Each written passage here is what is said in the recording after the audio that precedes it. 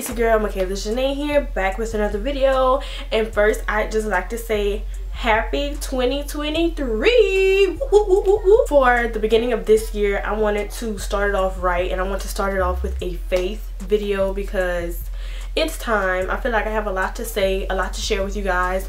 I went through a lot in 2022 I've grown a lot spiritually and mentally so I want to share with you guys the things that I'm still learning still going through but also the things that I have learned and the things that I've grown from so you guys know the Maja Speaks will be coming back. I wanted to start this year off with sharing how I'm going to be getting back in tune with God for a new year reset, a recharge. A lot of people, when the new year comes in, the first thing when they want to do is get healthy, get in the gym, but only for like the first week. And that's all fine and dandy. Getting healthy should be on everyone's new year's resolution. It shouldn't take a new year to make you want to get right. You should just want to get right. And when it comes to your spiritual well-being and your relationship with God, it's a daily walk and it should take require a little bit more commitment, okay? So it's not just going to end with this fast, but I want to start my year off right with a fast. I know a lot of churches and I think my online church, Transformation Church, does like a certain fast or something for the first 30 days. I don't know, but whenever the church service comes on, I'm gonna see what they're doing and I might do that also. But I know for me personally, I want to do something a little different and I wanted to just offer it and throw it out to you guys too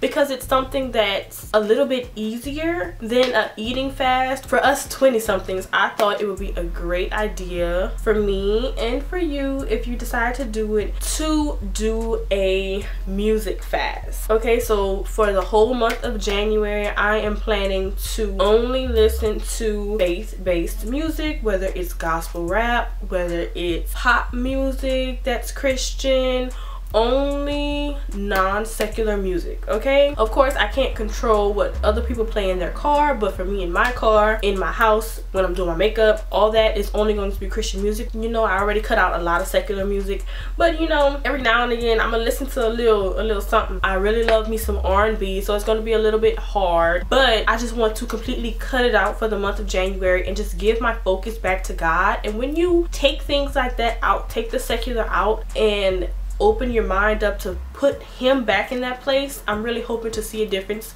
I'm hoping to get closer to him and i'm hoping to get that to be more of my norm fitting him in those spaces and not wanting it all the time you know? I hope that taking that out will allow him to come in more and then i might even discover some gospel and some christian artists that i like that is more similar to the r&b that i'm used to. Now like i said i'm gonna help y'all out. If you're somebody who likes hip hop, you like a lot of rap, I am going to be in the description box leaving you guys some link for the different places you can find Christian music 24 7. So one of the radio stations that I love and that I grew up on is K-Love. It's a Christian radio station and they play a lot of the, you know, pop and slower songs and real light and airy Christian, slower type of music and you can stream them on your Alexa, download their app, and also in your car because of course they're a radio station. So I'm gonna have K-Love listed. I also discovered when I was in Texas one time, NGEN Radio. And NGEN Radio is a Christian hip hop radio station based out of Houston, Texas, and they also have an app. So that's another amazing way for me to get in my little hip hop fix. Okay, all that. There's also several different YouTube channels that display only Christian like hip hop and R&B. So I'm going to try to find that and link that. And of course I have some of my own playlists made. I have a few of my favorite artists on SoundCloud. Like you guys know I love SoundCloud. I never left SoundCloud. I never went to Spotify, Apple Music, nothing. I'm a SoundCloud girl. So I think I'm going to have to like, and then I have all my playlists underneath my likes. So I'm to have to like separate my Christian artists from my secular artists on SoundCloud because right now I have it all mixed together but I'm trying to make it majority Christian than secular. That's to be my goal for 2023. Every time I go on SoundCloud, I'm listening to everything and removing the songs that no longer resonate with my spirit where the lyrics are not, you know, are not good. So that's that's what I'm constantly doing for myself and praying about and using my discernment about which songs I should still be listening to. What really has my heart is like older 2000s, 90s. On SoundCloud is really where I have all my new artists and I'm gonna make a whole gospel music playlist and link that for you guys too because I'm trying to help y'all, okay? I'm trying to help y'all. I really love music so if I can like put at least one of y'all on to a gospel artist that their music is so good like that would just make me so happy like because a lot of people think that christian music has to be slow or that you know faith-based music has to be boring or push you to sleep. But no some of it can get you hype and some of it sounds really really good. So that is my goal for January. I might even do a little playlist video for you guys, but I really want to do this fast and see what comes of it. Now, going along with the music, wherever you find your hardest struggle with. Now, if you like like trash TV, like, you know, reality shows, and that's like your weakness, cut out the reality shows along with the music. I'm telling you, you're going to see such a big difference. When I was a little bit younger, I remember and Hip Hop first came out. I used to watch it a little bit. Those shows weren't even that good when they first came out. You know, cutting things like that out watching all types of movies like you're gonna see a difference. So if you are a love and hip-hop girl or you just like married at first sight or just like all the different relationship reality shows the bachelorette the bachelor if you cut those out you're gonna see a difference. Any type of tv show that's not honoring god. Now i'm not talking about the tv show has to be faith-based but you know when you watch it you like i don't know how god will feel about this.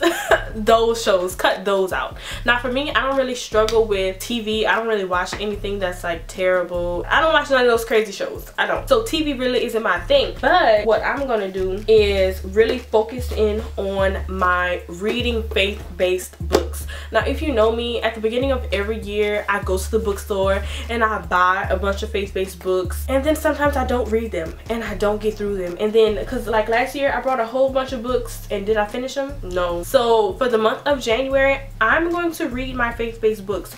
And if you know me, you know it does not take me long to read a book. It doesn't take me long to read a romance book.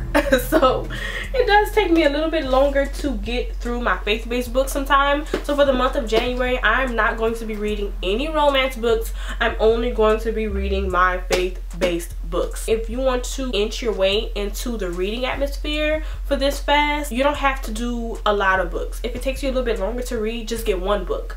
One of the best places to buy faith-based books is your local faith-based Christian Catholic store. Places like Mardel, even places like Hobby Lobby. Hobby Lobby be having the Christian books on sale and then sometimes you can use a coupon. When it comes to the different music, the different TV shows, you're just taking out the secular and taking out the things that brings your focus away from God and putting it back on him and allowing him to fill that space. To me, the whole point of reading the faith-based books is not to stress about who the author is. It's more about allowing God to speak through that book. Because not all the times you're going to relate to everything that the author in a faith-based book is saying, especially if they're more mature than you and you haven't been through all that type of stuff yet when it comes to us 20-somethings. But it's about reading the words and allowing God to speak through the book and just having that clear mind space time. I guess that's what it is too.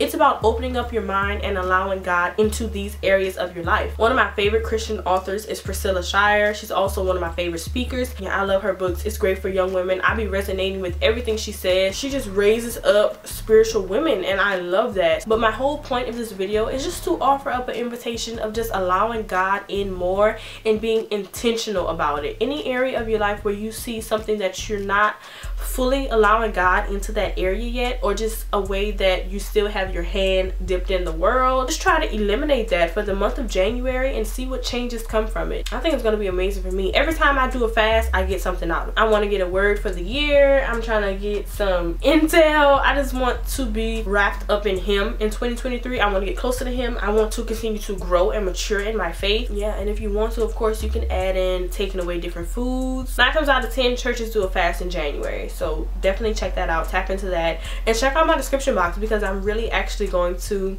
put the things i said i'm going to put in. It i'm going to help you guys with music. On my instagram i'm definitely going to be posting a lot of different christian songs a lot of gospel rap so stay tuned for that. Even on my reels like i am not going to put any secular songs. I'm really going to do it okay? And i'm not going to forget. So i hope you all enjoyed this video. I hope you all had a blessed new year. I hope you all are ready for 2023 and ready to see what god has in store for you because i am so ready. I'm going to have more talking videos on the way so i hope you all enjoyed this video. Please leave a comment about how you want to fast or different things you're planning. What are your 2023 goals. Let me know in the comments down below and i'll see you in my next video